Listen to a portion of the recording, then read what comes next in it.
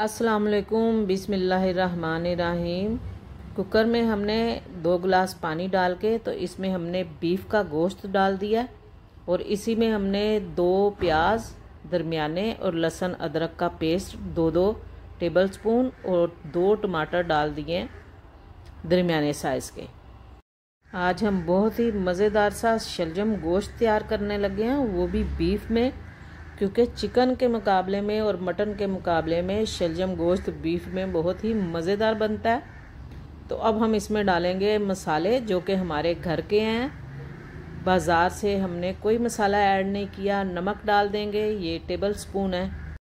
और कुटी हुई लाल मिर्च हम डाल देंगे, सॉरी, पिसी हुई लाल मिर्च हम डाल देंगे, एक टेबल स्पून हल्दी इसमें हम डाल देंगे हाफ़ टेबल स्पून हल्दी डालने का ये फ़ायदा होगा कि शलजम आपके वाइट वाइट से होते हैं तो फिर उनका थोड़ा सा कलर चेंज हो जाएगा।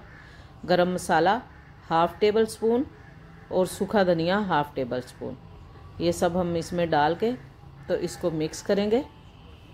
बॉयल आने का इंतज़ार करेंगे और फिर हम कुकर लगा देंगे। ये तकरीबन 40 से 45 मिनट लगाएँगे, क्योंकि बीफ है। तो थोड़ा सा गलने में टाइम लेगा। हमने इसमें कोई टेंडराइज़र भी नहीं डाला। जितना अच्छी तरह से गोश्त गल जाएगा, हंडिया का, सालन का, जायका भी उतना ही मज़ेदार आएगा। तो लें जी, ये हमने एक टेबल स्पून पपीते का पेस्ट भी डाल दिया कि ज़रा जल्दी गल जाएगा। गैस चली गई। हम इसे सिलेंडर पे पकाएँगे। गोश्त हमारा गल चुका हुआ था। इसमें हम अब डाल देंगे ऑयल आप अगर घी इस्तेमाल करते हैं तो आप वो डाल लें। इसमें डाल के तो हमने इसकी बहुत अच्छी सी भुनाई करनी है।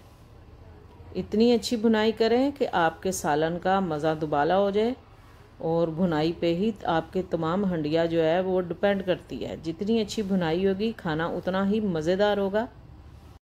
तो रेसिपी जितनी सिंपल होगी, खाने में उतनी ही मज़ेदार होगी और बनाने में उतनी ही आसान होगी। तो सिंपल आसान और मज़ेदार रेसिपीज़ के लिए प्लीज़ मेरे साथ रहें। सॉरी एक क्लिप इसमें से हमसे स्किप हो गया। वो रिकॉर्ड नहीं हो सका। जब हमने एक मरतबा गोश्त खोल के चेक किया था कि गला है या नहीं गला तो उसमें हमने शलजम जो थे, वो पूरे पूरे डाल दिए थे कि ये इसी में गल जाएँगे।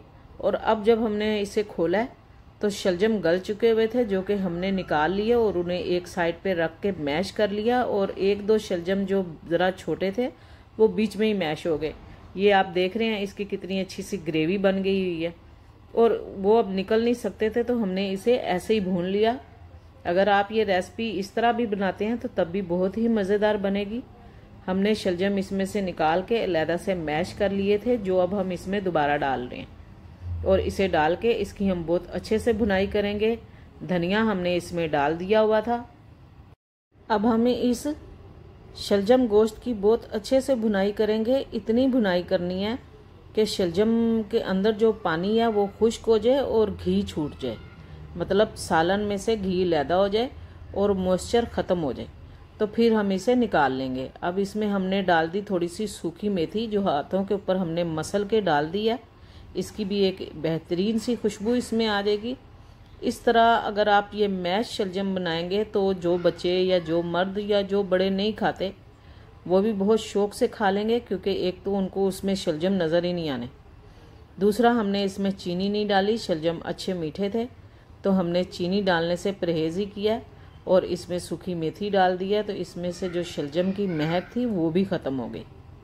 तो आप भी अगर इसी तरह से इस रेसिपी को फॉलो करेंगे तो जो नहीं खाते वो भी खा लेंगे और पसंद करेंगे और खुशी से खाएँगे। तो ये देखें, हम भूनते जा रहे थे। आहिस्ता आहिस्ता सारा मॉइस्चर ख़त्म होता जा रहा है और घी या तेल इससे अलहदा हो जाएगा। तो एक और इसके लिए बहुत ही बेहतरीन टिप है, जब ये आप तैयार कर लें और जब आप इसे सर्व करें तो इसके ऊपर थोड़ा सा देसी घी या मक्खन डाल दें, जो कि बहुत ही मज़ेदार लगेगा। चलें जी, डिश आउट करते हैं। आपको ये मेरी रेसिपी पसंद आए तो प्लीज़ इसे लाइक, सब्सक्राइब और शेयर करें। Thanks for watching. अल्लाह हाफिज़।